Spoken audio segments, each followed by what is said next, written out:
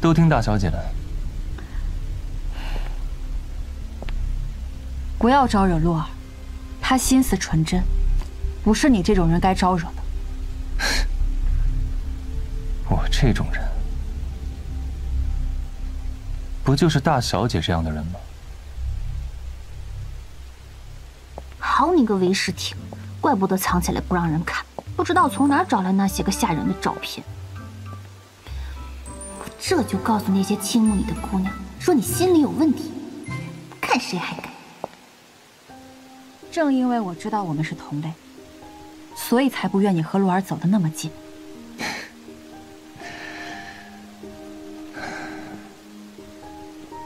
大小姐敬请放心，我对令妹没什么兴趣。那就好。二小姐，韦先生正等您上课呢。这下误会结束了吗？或许，阿杰和他真的是两情相悦。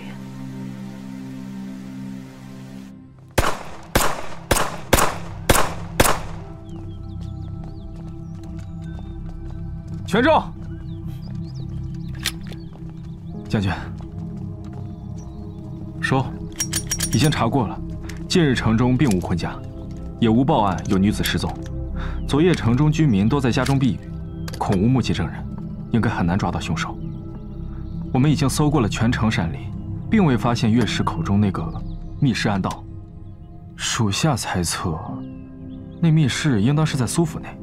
只是，若是苏梅也知道半月项链的存在，定会将其藏于身边，日日看护。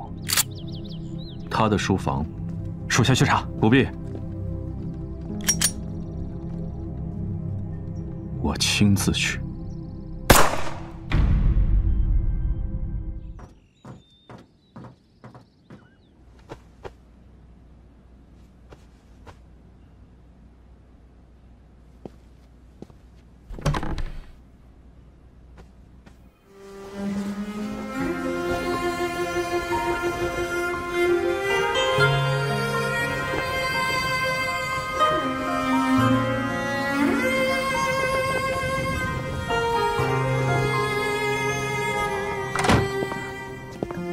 将军，哎，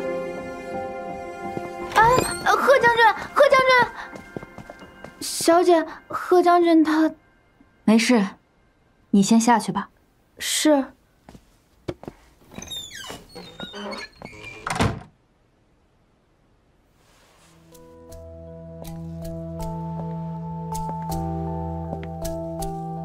贺将军，你不觉得这样闯进来，少些礼数了吗？原来苏大小姐知道，私闯他宅是少了礼数。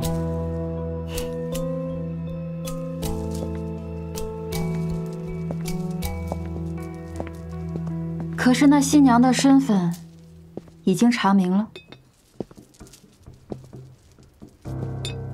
苏大小姐很爱看书，无事时爱看看。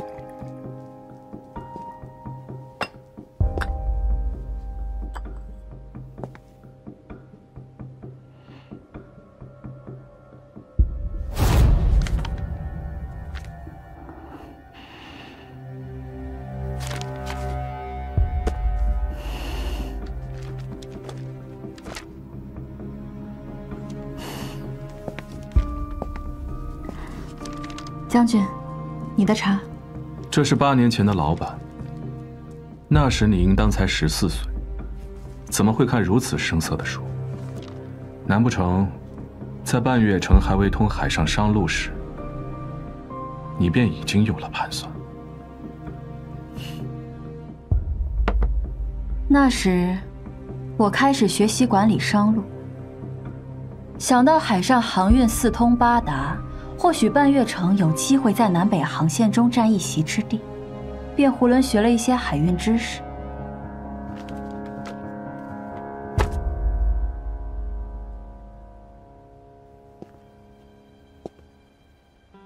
因为不能惊动成名，新娘的身份难以核实，还得麻烦苏大小姐出面，找几个信得过的人，问问城中近日可有女子失踪？